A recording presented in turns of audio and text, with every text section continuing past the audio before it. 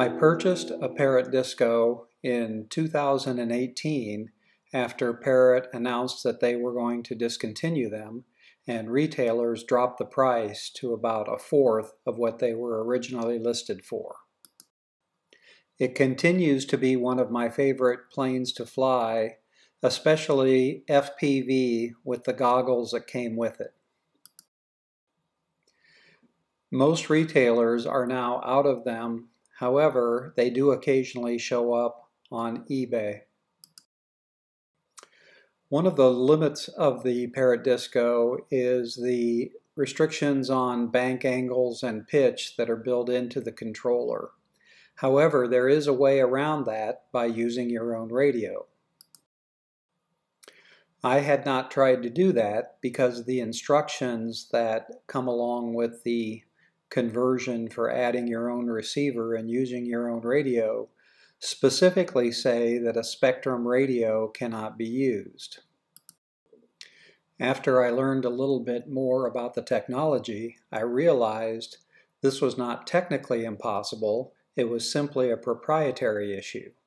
Spektrum does not want to include any of the serial communications listed on this page that are used by its competitors, and the competitors that use that serial communication do not want to use the Spektrum communication protocol.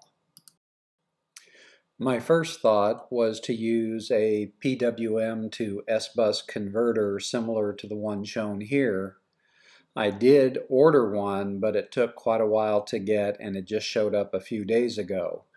That was not my preferred approach because it still took a lot of wires and it had an extra piece of equipment. Instead, I found a receiver made by Orange RX and distributed by Hobby King that will accept the DSMX protocol from the Spektrum radio, but will output the S-Bus output to the controller. However, if you buy one, be careful because the exact same model also comes in a CPPM output version and you have to read the description closely to make sure which one you're buying. This is a photo of my disco before I installed the receiver and the S-Bus connection. You can, however, see the two Velcro pads that I used for the receiver and the satellite on the receiver. This is a photo of the disco after I installed the receiver, the satellite to the receiver, and the servo lead from the receiver to the S-Bus input on the Parrot controller. The S-Bus output on the orange receiver is the same as the bind port. Here is the disco with the canopy cover on showing the two leads from the orange receiver and the connection to the satellite receiver. The disco documentation shows the channels lining up in this order, and that is the order that was used in other YouTube videos with Futaba radios and receivers. However, that is not one I discovered when using this configuration. When using the orange receiver with a Spektrum radio, the channels actually line up in the more normal configuration that I've shown here. The instructions are also a little confusing when it comes to the flight modes. As you can see in the description here, it says that assisted mode is only possible with a Parrot radio, but then it says assisted mode is possible with your own radio. A description later on in the instructions is more instructive. Flight mode 1 is assisted mode using the Parrot controller. Flight mode 2 is assisted mode using your own radio. And flight mode 3 is the full manual mode with all of the limits removed. Now I will demonstrate the basic setup on a Spektrum DX9. First you need to create a new model and set the model type.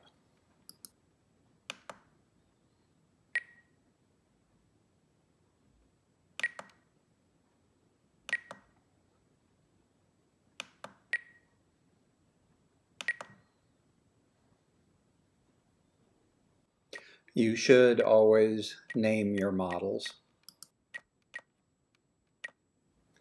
I normally assign flight modes to the three position switch B in the upper left hand corner.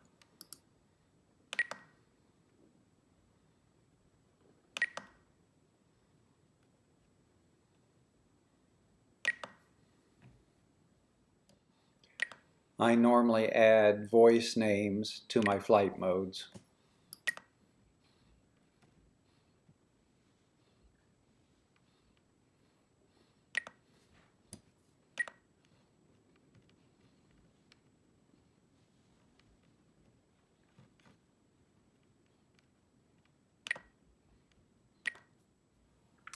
Besides assigning the flight mode to the three position switch B, I also assign the takeoff and landing function to push button I, the emergency switch to switch A, and the return home switch to switch H.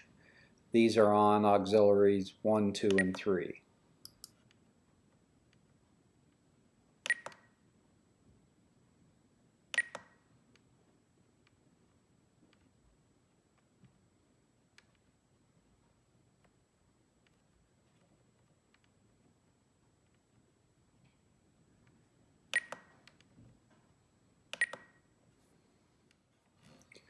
All of the channels except for the throttle need to be reversed. Beginner mode. Smart mode.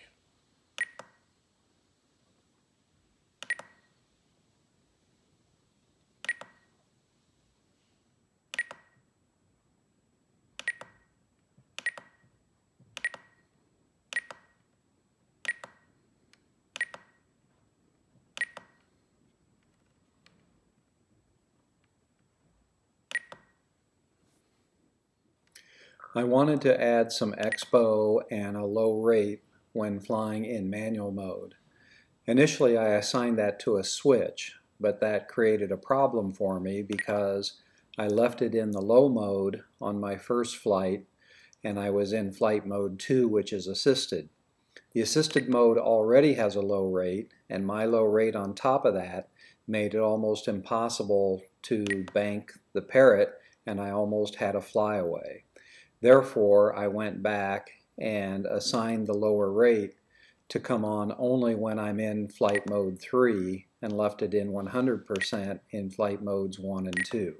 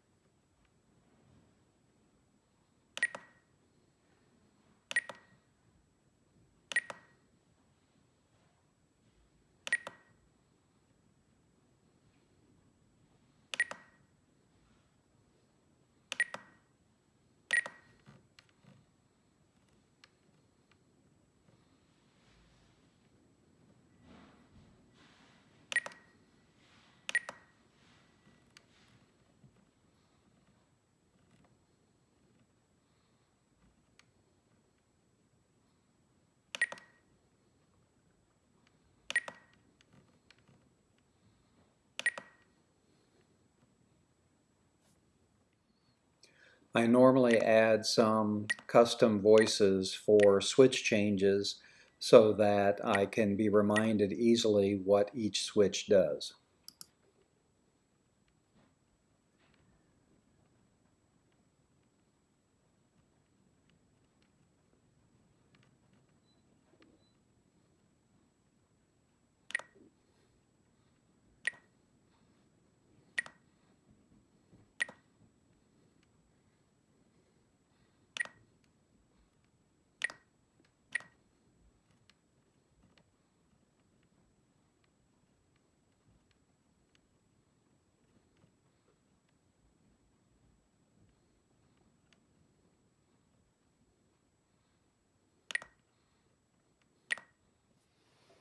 You need to bind the receiver to the radio.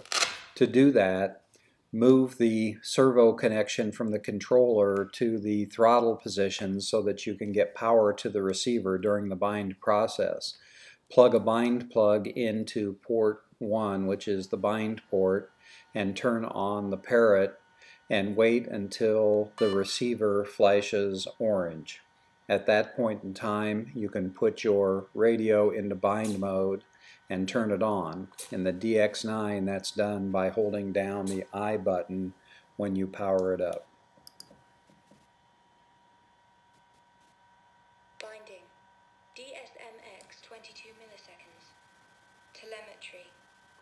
Bind complete. When you're done binding, turn the Parrot Disco off and make sure that you remove the bind plug and put the connection to the controller back into the bind port to complete the S-Bus connection.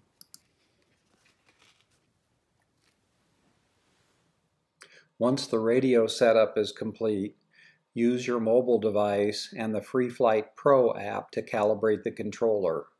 Select the Disco Wi-Fi network in your settings and then open the FreeFlight Pro app on your mobile device.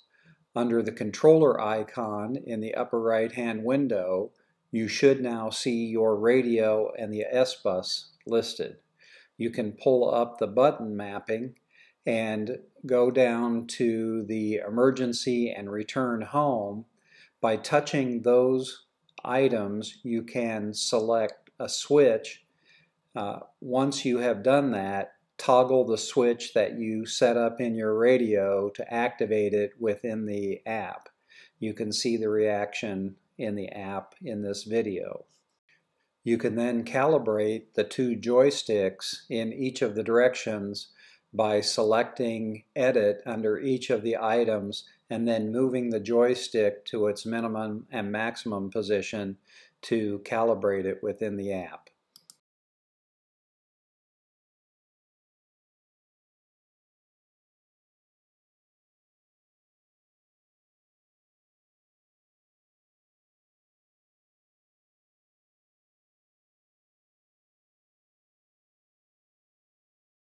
At this time, you should also test any buttons or switches that you've set to make sure that you get the proper reaction in the FreeFlight Pro app.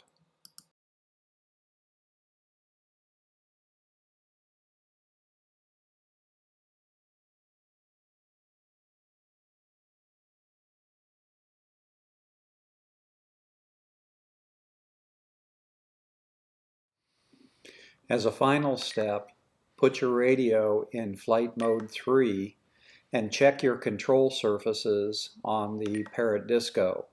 I think you will find that they are significantly out of adjustment. I've had to adjust my aileron sub trims uh, by a significant amount to get my two ailerons to match and then use the elevator sub trim to get them zeroed out.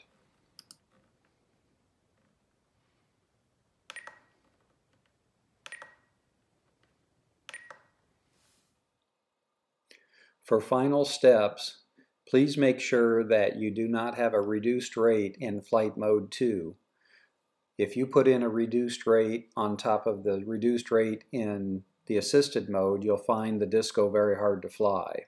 Make sure you put it in flight mode 3 and test all your control surfaces to make sure that they go in the right direction and that your throttle control is working properly. For your first flight, you might want to consider a co-pilot who is holding on to the Parrot Disco radio so that you can switch back into flight mode 1 if necessary. When flying with your Spektrum radio, you can still use the video telemetry on your mobile device, but you will have to use the Wi-Fi connection since you won't have the USB connection from the Parrot Disco radio available. Your range might be limited for the video. The only remaining issue is that the throttle seems to run high in flight mode 2. I have not found a solution for this. There's no easy way to test flight mode 2 when you have the disco on the ground because it immediately shuts off when it cannot achieve altitude. The throttle control seems to work fine in flight mode 3. Due to the local weather, I've only done a couple of brief flights with this configuration and I haven't yet taken any video. I hope to do that later and post an additional video uh, showing some of my flight experience. If you have any questions or any experience of your own flying with this configuration, please post your comments below. Thank you.